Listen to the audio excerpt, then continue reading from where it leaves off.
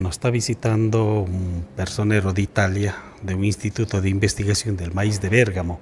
Estamos relacionados con ellos a través de un convenio de cooperación ¿no? y venimos trabajando con el tema del maíz. No solamente Juan Michel Saracho, sino la Universidad de San Simón y la Universidad de Sucre también. Hacemos un trabajo conjunto y hoy día cerramos el primer ciclo ¿no? pero abrimos ya un segundo convenio de cooperación para poder seguir desarrollando las actividades. El Instituto de Investigación de Bérgamo nos trajo ocho variedades de maíz que nosotros vamos a trabajar aquí en el Centro Experimental Chocloc.